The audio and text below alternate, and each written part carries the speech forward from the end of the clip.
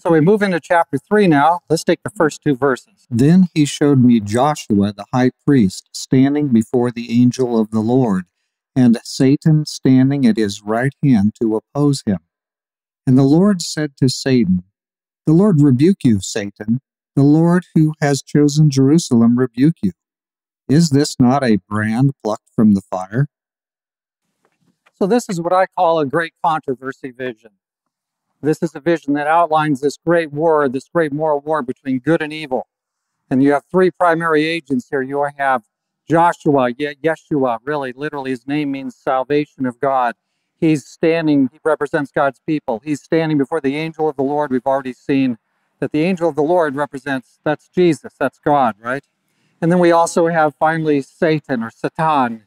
In Hebrew, it means adversary. He's standing also at the right hand of Joshua, Yeshua. So that that right hand position, that's whether you're left-handed or right-handed, in the Bible, the right hand is symbolically a position of power.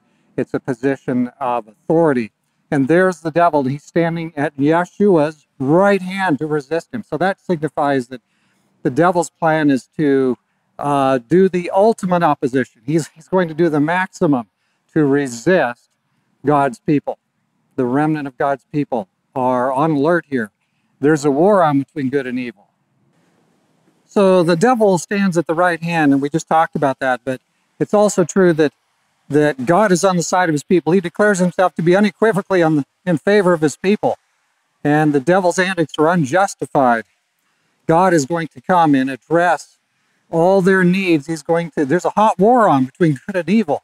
This is not just a something that's just dragging on in a random way for for thousands of years. This is a hot war, and God is at work for his people. Each side has its own strategic objectives, uh, military objectives.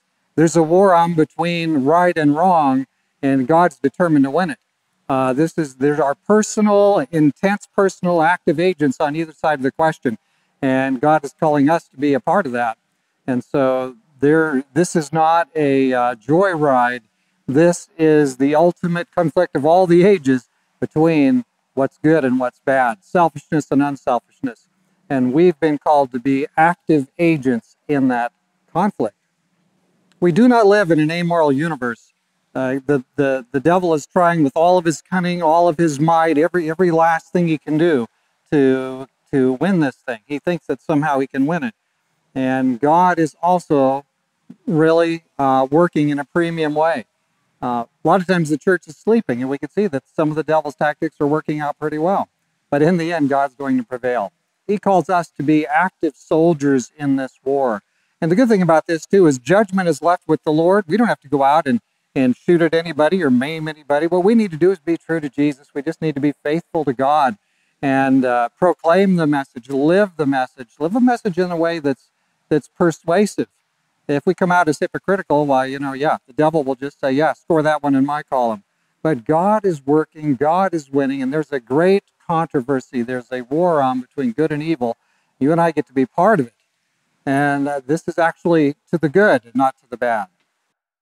So, what can you and I do in a practical way? What can we do to, to apply all this? Well, we can view this war between good and evil. We can view all of our life in, ter- in this terms this, this is the lens. This is how we view things. We're in a, ma- a war between good and evil, right and wrong, and we need to choose the right and help others choose the right. And that's what Jesus would have us to do, all the way down here at the end of time in the 2020s.